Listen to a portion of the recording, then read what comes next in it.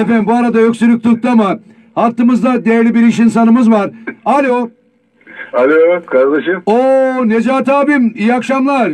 Hayırlı akşamlar olsun, hayırlı yayınlar olsun. Evet Hacı abim e, nasılsın iyi misin? Sakarya'da ne var ne yok?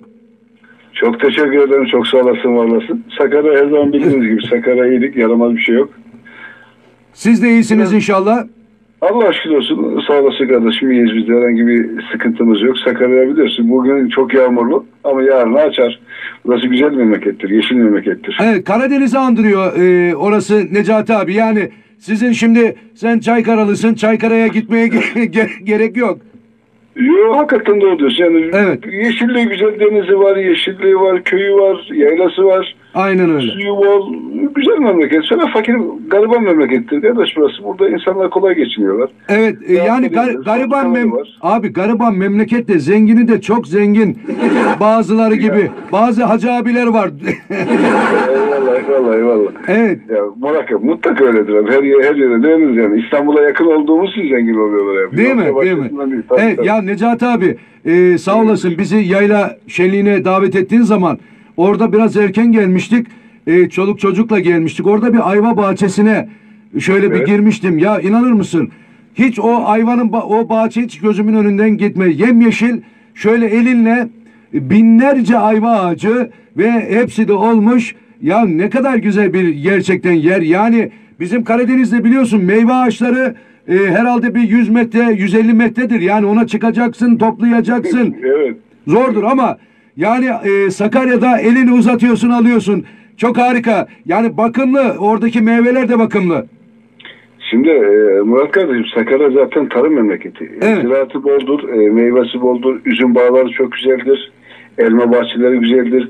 Ayva zaten Sakarya meşhurdur. E, ayva Pamukova'da ayva bahçeleri çok fazla var. Evet Senin abi. geldiğin yerde var ama daha en fazlası Pamukova'dadır. Ha Pamukova'da E, daha ayva- çok mu vardır? Tabii daha çok festivali falan vardır. O an Pamu, e, şey festival yaparlar. Ayva festivali yaparlar. Oy maşallah. Oy ma- yani Çok gerçekten onun için harika bir bölge.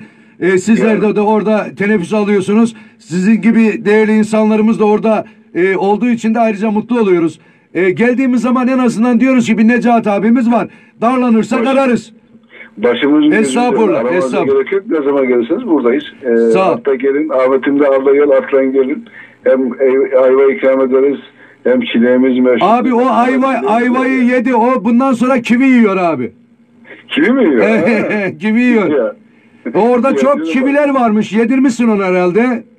Ahmet'e bak şunları da yedireceğiz de işte bir elime istesem Ahmet'e ona incir yedireceğim.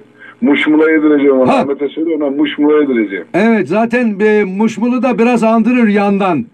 biraz var biraz. Evet, evet e, Necati abim e, şeref verdin. Çok teşekkür ediyorum. E, şu anda e, iş yerinde misin evde misin bilmiyorum ama e, Yok, büt- eve geldim kardeşim. evet, tüm ev halkına da selamlar gönderiyorum buradan. İyi akşamlar diliyorum. selam. Selamlarımı iletiyorum. Saygılar sunuyorum. Çok sağ olasın. Hayırlı akşamlar olsun. Hayırlı yayınlar olsun. Tüm seyircilerimize, biz de burada dinleyicilerimize hayırlı akşamlar diliyoruz. Sağ ol. Sağ ol abi saygılar. Evet Necati Engin Güneş efendim. NEGMAK Yönetim Kurulu Başkanı. Evet Sakarya Trabzonlar Derneği Başkan Vekili. Başkan Yardımcısı çok değerli hemşerimiz. Sağ olsun canlı bağlantıya katıldı. Ve şimdi benim uşağım büyük uşağım Muratan bu türküyü istedi. Onu da dinleyelim. Evet Savaş Hakkı Aydın. İyi akşamlar. Yine meslektaşım Saim Soybaş. Dertlerin kıyındayım. Dayım gele Gene uçurumdayım. dayım dost Dostum az düşmanım çok. çok Dik durmak zorundayım.